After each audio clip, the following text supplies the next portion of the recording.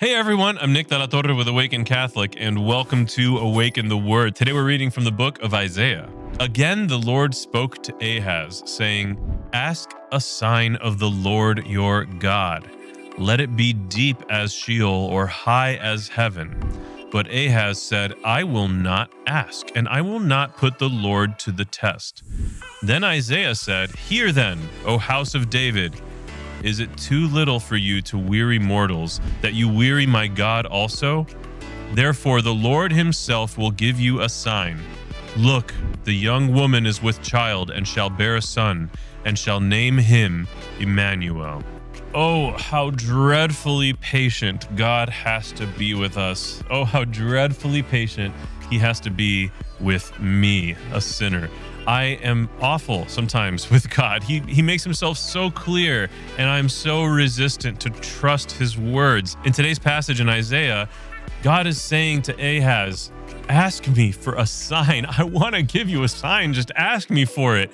And we so often are resistant. We're, we're frankly fearful to ask God for clarity, for a sign, for an answer to prayer, for an answer to questions because we're afraid of getting let down. We're afraid of not getting a response, maybe. We don't want to introduce any opportunity for doubt. Or maybe we're afraid of not wanting the answer that God might have to give us. Isaiah is saying to you and to me, stop being so annoying. We, we are constantly doing the same thing over and over again where we don't turn to God.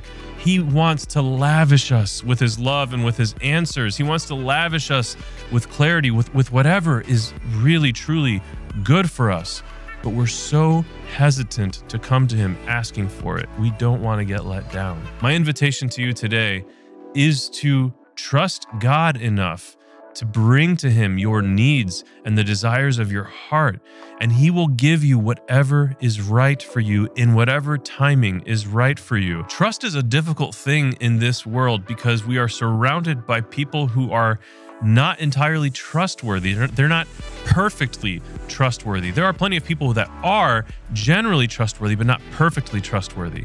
And so it makes us hesitant. Trust God completely. He deserves your trust. And if you open your heart up to it, He will not let you down. I have been Nick. This has been Awaken the Word. And before you go, I just need you to know that Jesus loves you. Peace. Thank you for tuning in to Awaken the Word. Awaken the Word is a three minute daily show that unpacks scripture with practical messages for everyday life. Awaken the Word is made in partnership by Spoke Street Media and Awaken Catholic. For more podcasts, visit spokestreet.com.